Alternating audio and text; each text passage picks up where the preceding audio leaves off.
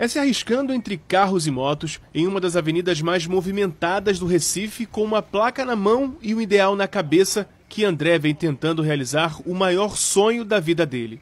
Quem vê esse rapaz de 32 anos nessa situação nem imagina a história de superação que ele carrega. André se formou em bacharel em geografia há cerca de quatro anos. Ele é poliglota, fala vários idiomas, mas apesar da qualificação, a formação não deu direito a ele a conseguir um emprego na área. Desiludido, ele tentou então um mestrado fora do país. Foi aprovado em sete universidades francesas, mas sem dinheiro para custear o curso, decidiu colocar a vergonha do lado. E todos os dias faz isso.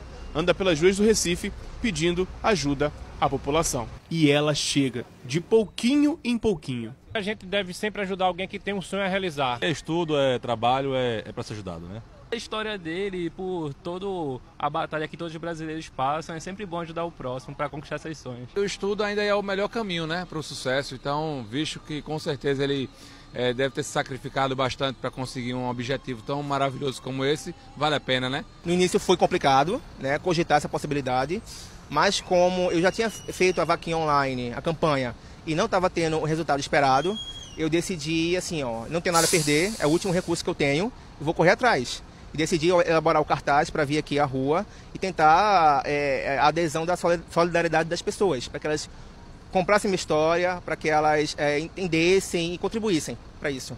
Então, assim, é, para muita gente pode ser humilhante estar aqui, para mim, eu penso além. Eu penso que isso é, um, é uma etapa mais para eu conseguir meu objetivo. Atualmente, para se manter, André dá aula de idiomas e trabalha como guia turístico em Olinda. Mas o dinheiro que recebe por mês não dá para custear a estadia em Paris, capital da França, até que ele consiga se estabilizar na cidade.